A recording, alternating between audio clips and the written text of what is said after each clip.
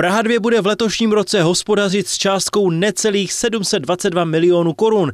Největší investice poputují na opravy příspěvkových institucí městské části, mateřských a základních škol či domovních fondů. 62 milionů zhruba jde do eh, rekonstrukcí ve školách a mateřských školách, eh, pak tam jde 10 milionů do rekonstrukcí kotelen, 15 milionů do, do postavení nových výtahů, protože máme 9 tisíc asi 260 eh, lidí, seniorů nad 65 let a bydlí v domech, kde třeba výtahy nejsou. Vedení městské části plánuje i v tomto roce pokračovat v rekonstrukcí chodníků a v úpravě městské zeleně. My zhruba 15 milionů ročně uvolňujeme na tyhle ty věci.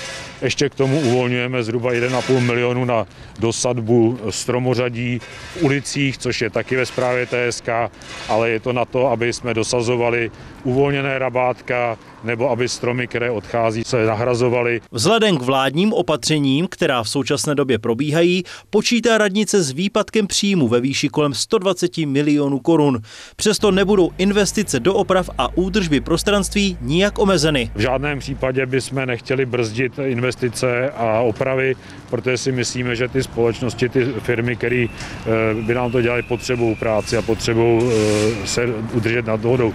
Takže nechceme toto omezovat. Podle místo starosty Prahy 2 Jana Korzesky je rozpočet městské části vyrovnaný a disponuje dostatečnou rezervou na překlenutí stavu nouze. David Vilček, Televize Praha.